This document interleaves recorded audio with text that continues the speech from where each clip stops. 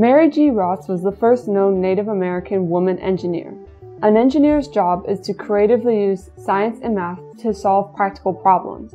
This requires designing with specific functions in mind, anticipating potential issues, and ensuring that every piece of the system works together seamlessly. Ross designed incredibly fast airplanes and helped pave the way for manned spaceflight, all the way back in the 1940s and 50s.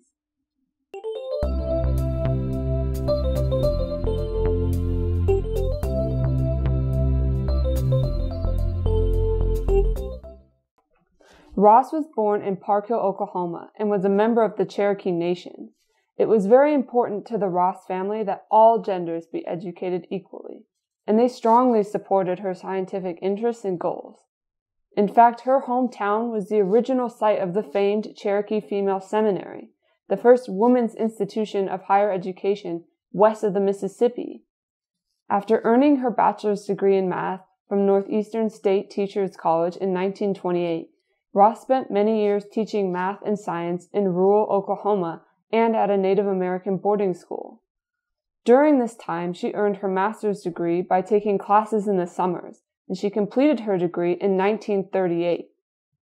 In 1942, during World War II, Mary was hired by an aeronautics company called Lockheed. During the war, she mostly designed fighter planes. At the same time, she also helped solve numerous design issues involved with high speed flight. She assisted in the troubleshooting of the P-38 Lightning, a fighter plane that came close to flying faster than the speed of sound. To achieve these speeds, the P-38 Lightning had to fly at extremely high altitudes, where there are fewer air particles. This means that there's lower air pressure than we feel on the ground. This caused engineers to worry that the plane would collapse during dives due to the high speeds and differences in atmospheric pressure. Outside of her work on airplanes, one of Ross's interests was developing vehicles for manned spaceflight. Keep in mind, this was more than 20 years before people went to the moon. Many of the obstacles related to manned spaceflight are the same she had already encountered when working on airplanes. Most importantly, airplanes are designed to both take off and land. Previous space missions, which were concerned with launching satellites into space, did not have to worry about bringing the craft back. But manned spaceflight would have the extra challenge of bringing the vehicle and its astronauts back from space. Where would you start if you were an engineer and it was your job to get astronauts into space and then back home again? Feel free to pause the video and puzzle this out. Let's think creatively about what kind of vehicle you would need. First, you should think about making sure the vehicle can withstand high speeds and low atmospheric pressure. Additionally, the Earth's atmosphere allows us to breathe and protects us from much of the sun's radiation.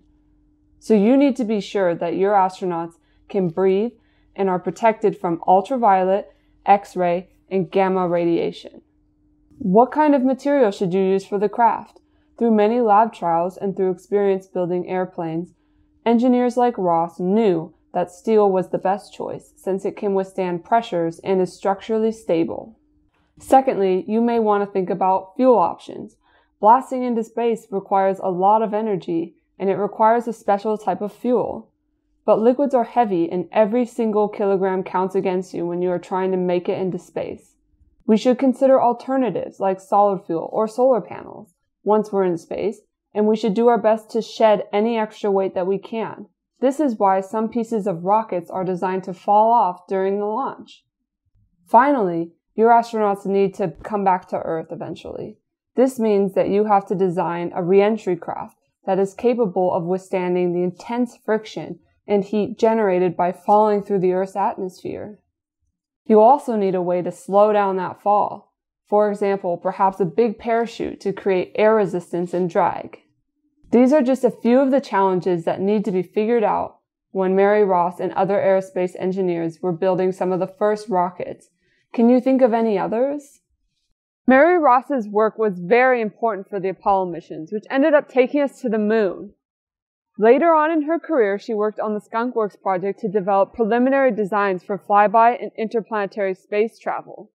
She also co-authored the NASA Planetary Flight Handbook, which was used for many years to calculate flight and orbit trajectories. After her retirement, Mary Ross worked to recruit Native American youth to engineering programs continuing her family's tradition of supporting young Native American scientists in their ambitions. In an interview Mary did with the Tahlequah Daily Press, they wrote, she had been dreaming of sending probes and people to space ever since she took her first astronomy classes in graduate school.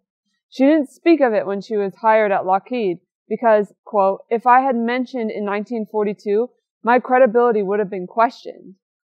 In true engineering fashion, Ross was always thinking far ahead. She passed away in 2008, but with the help of her resolute interest in interplanetary travel and groundbreaking aerospace engineering designs, maybe one day we will send humans to other planets.